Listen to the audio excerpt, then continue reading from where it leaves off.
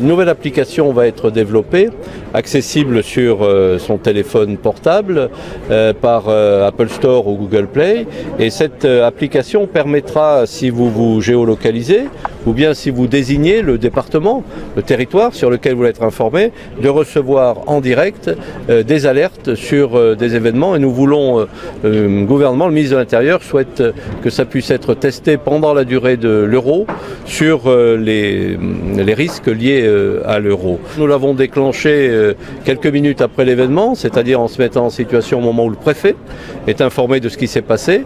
Donc j'ai alerté le niveau central, le, le, COGIC, le, Centre central de coordination et de suivi des événements à la sécurité civile, qui lui-même déclenche cette alerte téléphonique. Et j'ai observé que ma collaboratrice, qui a l'application sur son smartphone, a reçu euh, l'alerte moins de 5 minutes après mon appel.